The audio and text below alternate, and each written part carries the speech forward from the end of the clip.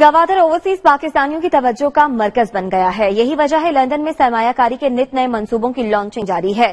Gwadar golf city بھی اسی سلسلے کی ایک کڑی ہے جس گوادر گولف سٹی کے سربراہ ملک بلال معروف پراپرٹی ڈیولپر ملک ریاض کے نواسے ہیں جو نئی ہاؤسنگ اسکیم کی کامیابی کے لیے انتہائی پرزم دکھائی دیے ملک بلال اور دیگر عہدیداروں کا کہنا تھا، گوادر گولف سٹی میں ترقیاتی کام تیزی سے جاری ہیں۔ یہ واحد ہاؤسنگ سوسائٹی ہے جس نے ترقیاتی کام شروع کرنے کے بعد لانچنگ اور سیل کا اعلان کیا۔ دیگر مقررین کا کہنا تھا کہ پاک فوج کی طرف سے سیکورٹی فراہم کرنے کرنے کے بعد پورا بلوچستان محفوظ ہو گیا ہے اور سرمایہ کار بلا خوف و خطر گوادر میں سرمایہ کاری کر رہے ہیں۔ پروجیکٹ ہم لے کے آئے ہیں اوورسیز پاکستانیوں کے لیے ایک سیف اور سیکیور انویسٹمنٹ ہے۔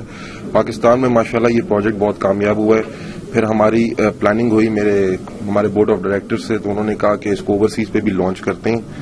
تو ماشاءاللہ اچھا رسپانس آ رہا ہے پاکستان میں تو بہت۔ اور گوادر کو آباد کرنے والا یہ پروجیکٹ ہوگا، ابھی تک وہاں پہ کسی نے کوئی ڈیولپمنٹ نہیں کی۔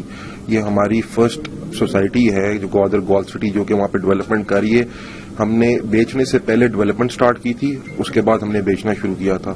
تو ہمارا ایم یہی ہے کہ ہم اس کو ڈیولپ کریں اور گوادر میں یہ ایک سب سے بڑا پروجیکٹ ہوگا۔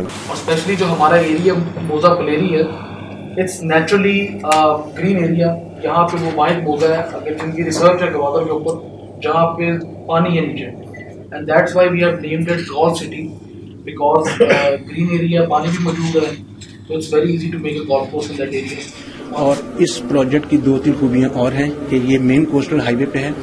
یہ ٹورڈ اس کا فیس جو ہے وہ سی کی طرف ہے اور یہ بہت اچھی اپرچونٹی ہے۔ جیسا کہ آپ جانتے ہیں، دنیا پوری جانتی ہے کہ یہ دوسرا دبئی بننے جا رہا ہے۔ کہہ لیں کہ ملک ریاض کی لیگسی لے کے نکلے ہیں اور یہ گوادر میں واحد سوسائٹی ہے جو اس وقت ڈلیور کر رہی ہے اور ڈیولپمنٹ سٹارٹ ہے۔ رسپانس ملا ہے لوگوں کی طرف سے، بڑا زبردست ہے۔